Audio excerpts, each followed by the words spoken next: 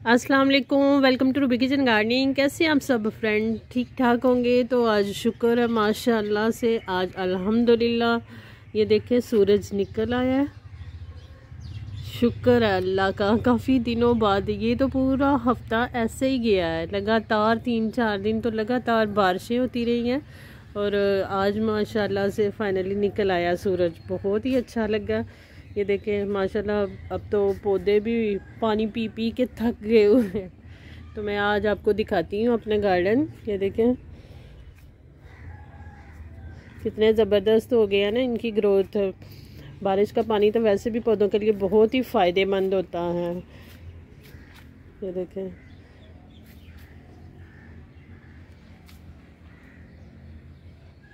आज जनवरी की twenty four है। अब हमें सम, समर वेजिटेबल्स जो है ना उनकी तैयारी करनी चाहिए।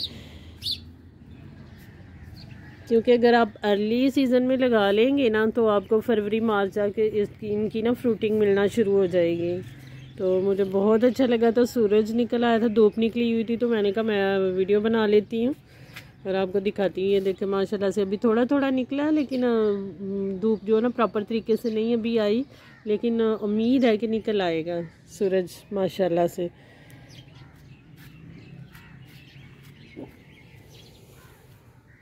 आज आपको गार्डन का ओवरव्यू देते हैं और बताते हैं क्या क्या है। ये देखें, धूप नहीं ना निकल रही तो ये जो हमारे टमाटर हैं, वो भी नहीं पक रहे। क्योंकि इनको पकने के लिए धूप चाहिए ना तो धूप पूरे हफ़्ते से बिल्कुल भी नहीं थी। और ये जो फ्लावर हैं, ये भी धूप में बहुत अच्छे खिलते हैं, माशाल्लाह से। आज तो खिलेंगे। क्योंकि बारिश की वजह से ये भी सारे ऐसे ही मुरझाए हुए थे। मेरी ब्रोकली देखें, ये भी हार्वेस्ट करने वाली है। ये मैं सूप बनाऊँगी, आपसे वीडियो शेयर करूँगी। ये देखें, सारी ये ब्रोकली लगी हुई है। आप भी ना समर वेजिटेबल की तैयारी शुरू कर दें। ये जनवरी का ओवरव्यू आपको दे रही हूँ। अभी आहिस्ता आहिस्ता हमें जो जो हमारे गार्डन में काम होने वाला है, वो करेंगे। ये देखें कैबेज गोभी भी देखें। ये देखें, ये यहाँ से मैंने हार्वेस्ट कर ली थी। जो ब्रोकली है तो उसके नीचे से देखें कितने सारे स्प्राउट निकले हुए हैं। अब इनके ऊपर भी ब्रोकली पड़ेगी। ये चाइनीज़ टमाटो है।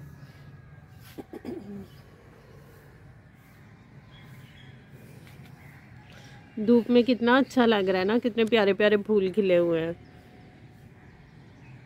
मेरे बाकी ये वाले जो हो रहा है इनकी तैयारी तो मैंने कर लिया, क्योंकि इनकी मैंने मट्टी भी चेंज कर थी गोबर खाद भी डाल दी थी जब मैंने ये प्लांट लगाए थे उससे पहले। और ये जो मेरा बैंगन वाला रैक है ना, ये इसको मैंने चेंज करना है, क्योंकि इसके पौधे ना काफ़ी पुराने हैं। तो मुझे यही था, मैंने इनकी कटिंग भी कर दी थी कि चलो कटिंग करने से देखेंगे ये कैसी मतलब इसकी शूटिंग नीचे से होती है। लेकिन कुछ कुछ पौधे जो ज़्यादा ख़राब हो गए हैं, वो मैं निकाल दूँगी और नए पौधों की मैंने पनीरी लगाई हुई है और इनकी मिट्टी भी चेंज करके इसमें गोबर खाद डाल के ना तो फिर मैं लगाऊँगी। तो फिर इंशाल्लाह देखिए इनकी फ्रूटिंग कितनी ज़बरदस्त होगी। आप भी ऐसे ही करें जो जो काम आपके गार्डन में करने वाला है, वह कर लें ये देखेंगे। इनको भी मैंने चेंज करना है ये मेरे पालक है छोटी छोटी क्यारियों में लगी हुई। और ये पालक के सीड मैंने बहुत ज़्यादा डाल दिए थे तो इस वजह से इनकी ग्रोथ इतनी अच्छी नहीं वैसे मैंने हार्वेस्टिंग इससे काफ़ी सारी ली है, लेकिन इसके पत्ते जो है ना, वो बिल्कुल छोटे छोटे से रहे हैं। और ये मेरी वो है, मेथी। इसको भी हार्वेस्ट करेंगे। लेकिन आज नहीं। और इनको मैं निकाल के ना, इनके पौधे में शिफ्ट कर दूँगी कहीं और और इनकी मिट्टी चेंज करके तो इसमें सारे मैं फ्लावरिंग प्लांट लगाऊँगी। आप भी अपने पौधों की मिट्टी चेंज कर लें, जिनकी मिट्टी चेंज करने वाली अगर आपको कहीं से गोबर खाद मिल जाती है वो ले लें और अपने पास रख लें, क्योंकि ज़रूरत के टाइम पे जब ये गर्मियों की आप वेजिज़ लगाएँगे ना तो इसमें यूज़ कर सकते हैं। ये देखेंगे मेरी जो बॉटल्स में मैंने लगाई थी इनकी ये देखें, मूलियाँ। ये भी हार्वेस्ट करने वाली हो गई हुई हैं। बारिश की वजह से मैं छत पे आती तो थी मतलब चक्कर लगाती थी, लेकिन कोई काम वगैरह नहीं था, हो सकता क्योंकि बारिश लगातार हो रही थी। ये मेरी रेड वाली कैबिज है बंद गोभी जो है, इसकी भी माशाल्लाह से ग्रोथ बहुत अच्छी है। ये मैंने सिनरेरिया की पनीरी इधर शिफ्ट की थी। ये देखें, इसके नीचे मैंने वो सॉरी इसमें मैंने वो डाला था किचन वेस्ट जो है, सब्जियों और पत्तों के छिलके वगैरह। तो ऊपर मिट्टी डाल के तो ये पौधा लगा दिया था। अब बारिश होती रही है ना तो वो नीचे देखे, वो बैठ गया। मिट्टी काफ़ी नीचे तक चली गई है। ये मेरे डेलिया के प्लांट हैं। ये देखें, ये आज ही खिला कितना प्यारा, ज़बरदस्त येलो कलर वो सिंगल पेटल वाला है और ये डबल पेटल वाला है, ये देखें। ये डबल पेटल वाला है और ये सिंगल वाला है। ये भी आज खिला है। जो पहले खिले हैं ना, उनका साइज़ देखें, काफ़ी बड़ा है। और ये जो बाद में खिल रहे हैं, उनका साइज़ छोटा है। अब ये देखें, पौधों पे ग्रोथ होना भी शुरू हो गई है। ये देखें, माशाल्लाह से। इसलिए भी स्प्राउट निकला ये मेरा माल्टे का पौधा है। ये मेरा अनार का पौधा था। ये हवा की वजह से कितनी दफ़ा गिरा है। अब अल्लाह करे कि ये भी चल जाए, पता नहीं, अब, अभी तो इसके सारे ही, ये देखे, टहनियाँ सूखी हुई हैं।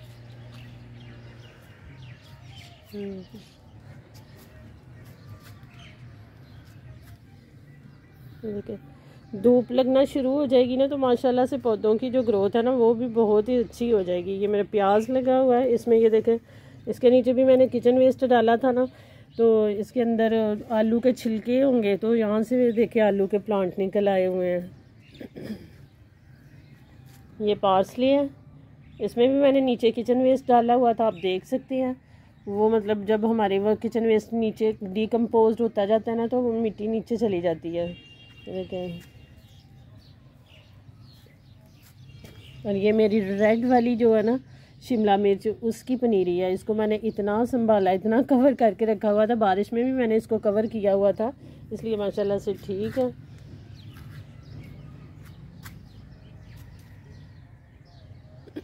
अभी आप गार्डन का हाल देख सकते हैं। ये मेरी हल्दी है। ये भी मैंने इधर ही रहने दी हुई थी। अभी इसको धो के ना तो करती हूँ साइड पे। ये देखें नस्ट्रेशियम के पौधे, माशाल्लाह इनकी ग्रोथ देखें। अब ये फ्लावरिंग पे आ गए हैं। ये मैंने आइसबर्ग की पनीरी शिफ्ट की थी। थोड़ी थोड़ी करके रोज़ करती रहती हूँ। ये वाली जो सफ़ेद प्याज है मेरी, इसकी ग्रोथ भी देखें माशाल्लाह से बहुत ज़बरदस्त है। सिंगल पेटल वाला ये गुलाब है। ये मेरी अंजीर का पौधा है। इस पर अंजीर देखें कितनी सारी लगी हुई है। और उस साइड पे वो सारे मेरे वो लगे हुए हैं, शलजम वगैरह, शलजम, मूलियाँ, मोंगरे, सब कुछ। गुलाब की मैंने कटिंग कर दी थी, इसकी भी नई स्प्राउडिंग देखे शुरू हो गई है। चूल्हा हमारा बाहर ही पड़ा हुआ था, ये सारा भीग गया हुआ है, इसको कवर नहीं किया, क्योंकि ये देखें, ये साइड से टूट गया था तो मैं क्या इसको दोबारा बनवाऊँगी। इसलिए बाहर ही रहने दिया। ये टमाटर है हमारे।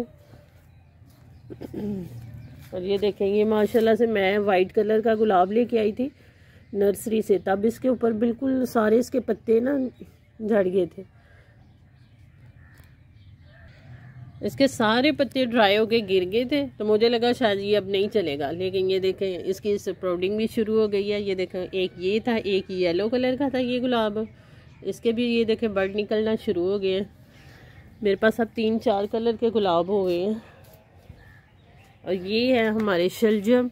ये इनकी मैंने थिनिंग की थी ये देखें शलजम बनना शुरू हो गए हैं। ये मैंने बहुत ज़्यादा सीड ना इकट्ठे लगा दिए हुए थे काफ़ी। अब मैंने उस दिन बारिश के दिनों में मैंने इसमें से सा, काफ़ी सारे ना निकाले हैं जो ज़्यादा ज़्यादा लगे हुए थे क्योंकि इनकी ग्रोथ नहीं थी हो रही सही जब जो सिंगल सिंगल थे उनकी तो हो रही थी। अब देखेंगे होते हैं कि नहीं ये भी है। ये देखें।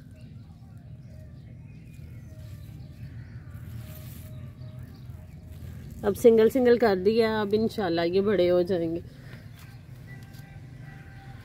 ये मोंगरे लगे हुए हैं। मोंगरे भी हार्वेस्ट करने वाले हैं, ये देखें।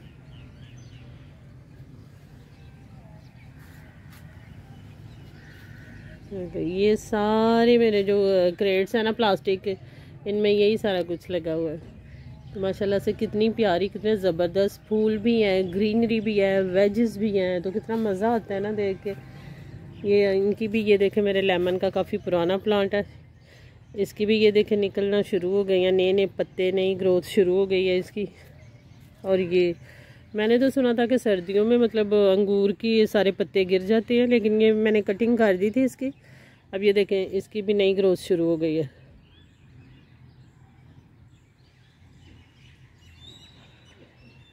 इसी में मेरी ये मेथी लगी हुई है।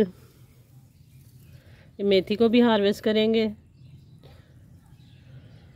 और ये गोभी है। गोभी का तो अब एंड होने वाला है। ये बस थोड़े से रह गए हैं। अभी जो नए पौधे लगाए हैं, अभी बहुत छोटे हैं वो। ये धनिया लगा हुआ है।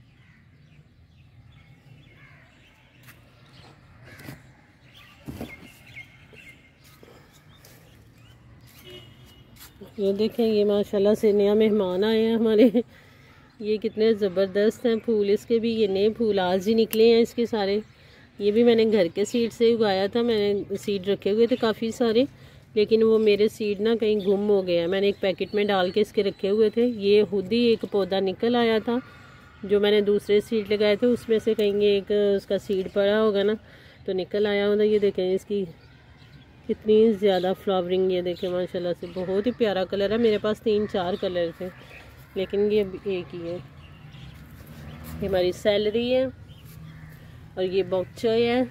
इसको भी हार्वेस्ट करेंगे, क्योंकि ये अब फ्लावरिंग पे आ रही है। जी फ्रेंड तो देखें, कैसा लगा आपको मेरा गार्डन? माशाल्लाह से बहुत ही ज़बरदस्त लग रहा है कि धूप फिर चली गई है। मैं तो इतनी खुश हो रही थी कि धूप निकल आई है।